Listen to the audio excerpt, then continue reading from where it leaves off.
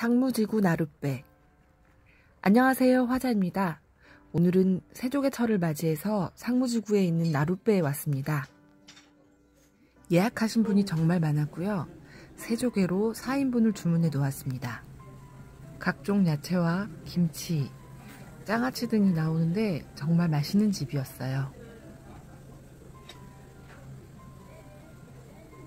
세조개는 얼른 담궜다가 살짝 데치는 느낌으로 조금만 익혀서 먹으면 됩니다. 와사비를 올리고 데친 야채와 함께 초장에 찍어 먹으면 된답니다. 새조개를 다 먹은 뒤 쭈꾸미도 한번 시켜봤어요. 쭈꾸미가 아직 살아있더라고요. 퐁당?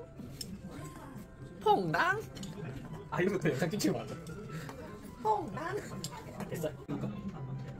살아있는 쭈꾸미가 힘이 정말 좋았습니다.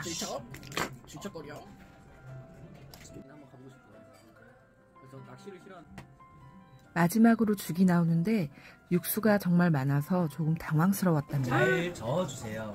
도시락아. 늘러붙지 않게 잘 저어주세요. 아 꼭 시골 사람들이 말하면 또 설마. 연병 안에 형 얘기하잖아. 알았어요.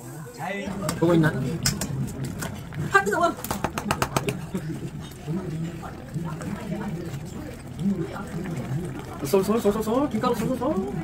기다린 보람이 있게 그래도 정말 맛있게 먹은 죽이었습니다.